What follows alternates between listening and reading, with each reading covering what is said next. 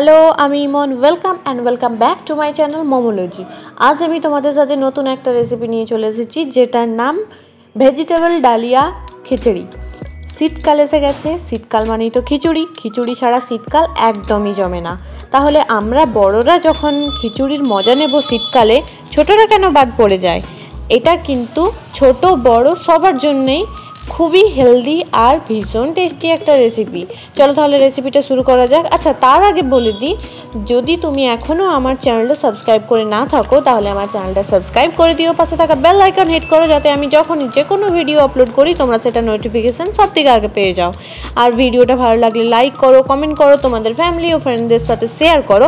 আর যারা আমার চ্যানেলটাকে অলরেডি সাবস্ক্রাইব করে দিয়েছ, আমার পাশে আছো, তাদেরকে জানাই অসংখ্য ধন্যবাদ। তাহলে আর বেশি কথা না বাড়িয়ে, চলো তাহলে রেসিপিটা শুরু করা যাক। আমি এখানে অনেক রকমের ভেজিটেবলস দিয়েছি, তোমাদের কাছে যেটা অ্যাভেলেবেল তোমরা সেটাই দেবে। সবজি দিয়ে ডালিয়ার খিচুড়ি করার জন্য যে যে ইনগ্রিডিয়েন্টসগুলো আমার লাগবে, সেগুলো আমি দেখিয়ে দিচ্ছি। আমি এখানে গাজর নিয়েছি, গাজরটা আমি গ্রেটারে গ্রেট করে নিয়েছি। তার সাথে বিট নিয়ে নিয়েছি, বিটটাও আমি সেম গ্রেটারে গ্রেট করে নিয়ে নিয়েছি।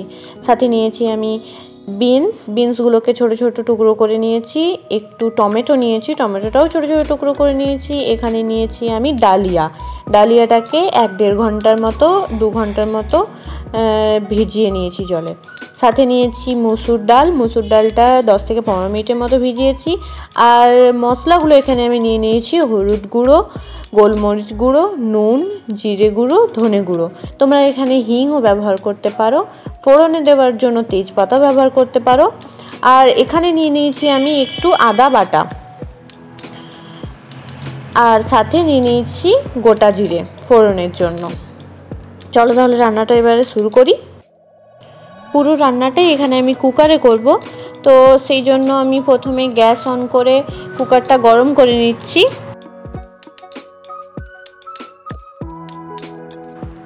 কুকারটা গরম হয়ে গেছে, এরপর আমি ঘি দিয়ে দিচ্ছি। তোমরা তেলও দিতে পারো, আবার ঘিও দিতে পারো। আমি ঘি দিয়ে রান্নাটা করছি।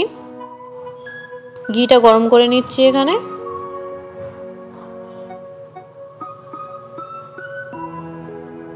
ঘিটা একটু গরম হয়ে গেছে।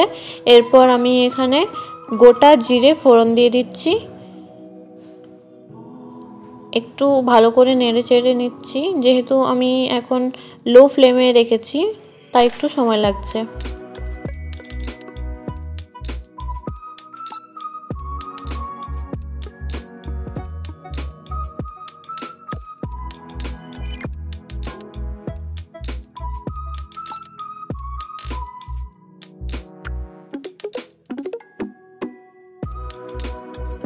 এরপর আমি এখানে আদা বাটা দিয়ে দিচ্ছি।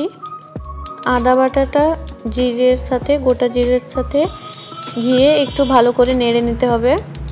যাতে আদার যে একটা কাঁচা গন্ধ থাকে, সেটা যেন চলে যায়।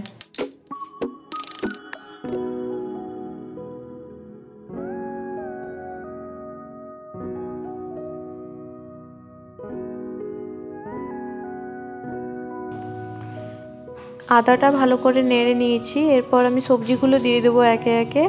প্রথমে দিয়ে দিচ্ছি আমি গাজর গ্রেট করা গাজরটা। আমি এখানে গাজরটা গ্রেট করে নিয়েছি। তোমরা চাইলে ছোট ছোট টুকরো করেও কেটে নিতে পারো। একটু নেড়ে নেব ভালো করে। তারপর এখানে দিয়ে দেব বিট গ্রেট করা। এটাকেও একটু ভালো করে নেড়ে নেব। আমি ফ্লেমটাকে এখানে লোতে রেখেছি যাতে তলায় লেগে না যায়। তারপর দিয়ে দিচ্ছি টুকরো করে কেটে রাখা বিনস। একসাথে ভালো করে নেড়ে নিতে হবে। একটু ভেজে নিতে হবে সবগুলো। টমেটোটা দিয়ে দিচ্ছি একসাথেই।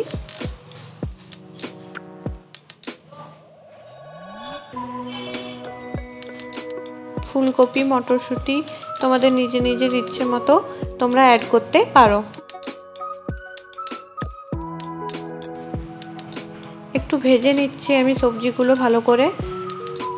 না হলে প্রত্যেকটা সবজিরই একটা একটা কাঁচা গন্ধ থাকে, সেইগুলো আসবে। এরপর আমি যে গুঁড়ো মশলাগুলো রেখেছিলাম, সেগুলোতে একটু জল মিশিয়ে সেটাও অ্যাড করে দিচ্ছি। আবার এখানে সব একসাথে মিশিয়ে নিচ্ছি ভালো করে।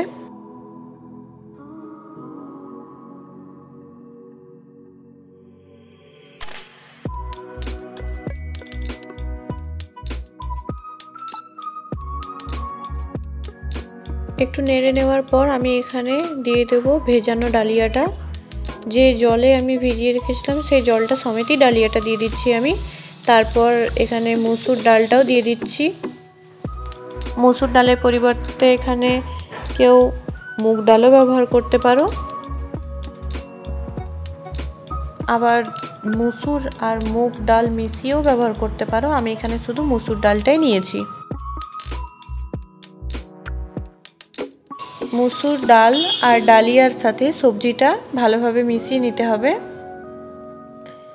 ভালো করে মিশিয়ে নিয়েছি আমি মুসুর ডাল আর ডালিয়ার সাথে সবজিটা।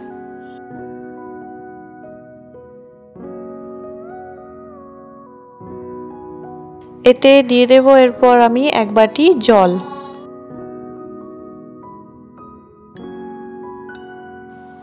এরপর আমি ভালোভাবে পুরোটা মিশিয়ে নিচ্ছি। পুরোটা মিশিয়ে নিয়ে আমি কুকারের ঢাকনাটা আটকে দেব সিটি পড়ার জন্য।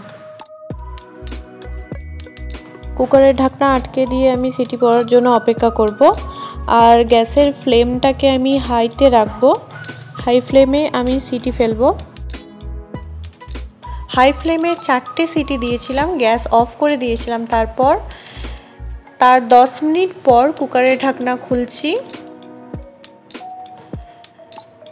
তোমরা নিজেদের ইচ্ছে মতো থিকনেসটা রাখতে পারো। ঠান্ডা হয়ে গেলে মানে একটু যখন ঠান্ডা হয়ে যাবে খিচুড়িটা, তারপর থিকনেসটা একটু গাঢ় হবে। তো সেই জন্য আমি পাতলাই একটু রেখেছি। এই যে দেখতে পাচ্ছ চাইলে তোমরা আরেকটু ফুটিয়ে নিতে পারো। খুব ভালোভাবে সেদ্ধ হয়ে গেছে সবজি, ডাল, ডালিয়া সব কিছুই ভালোভাবে সেদ্ধ হয়ে গেছে। আমার আজকের রেসিপি সবজি দিয়ে ডালিয়ার খিচুড়ি একদম রেডি আমার আজকের রেসিপিটা তোমাদের যদি ভালো লেগে থাকে তাহলে ভিডিওটা লাইক করো, তোমাদের ফ্যামিলি ও ফ্রেন্ডসদের সাথে শেয়ার করো, আর কমেন্টে জানাও আমাকে তোমাদের কেমন লেগেছে। খিচুড়ির ওপরে একটু ঘি ছড়িয়ে খেলে গরম গরম খেতে বেশ ভালো লাগে। আর তোমরা এখনও যারা আমার চ্যানেলটা সাবস্ক্রাইব করনি, তারা আমার চ্যানেলটা সাবস্ক্রাইব করে দিও। পাশে থাকা বেল আইকন হিট করো যাতে আমি যখনই যে কোনো ভিডিও আপলোড করি, তোমরা সেটা নোটিফিকেশান সব থেকে আগে পেয়ে যাও। আর তোমাদের মধ্যে যারা আমার চ্যানেলটা সাবস্ক্রাইব করে আমার পাশে আছো, আমাকে সাপোর্ট করছ, তাদেরকে জানাই অসংখ্য ধন্যবাদ। এভাবেই পাশে থেকো সাপোর্ট করে যেও। সবাই সুস্থ থেকো, সাবধানে থেকো। দেখা হচ্ছে তাহলে অন্য কোনো নতুন ভিডিওতে। আজকের মতো, টাটা!